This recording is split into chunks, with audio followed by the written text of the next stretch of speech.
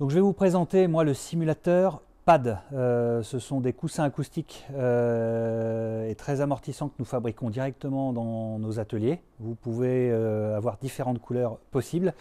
On aime utiliser cette matière lorsqu'on a, on a des murs qui ne sont pas... on a des lieux très accidentés et des zones de danger importantes.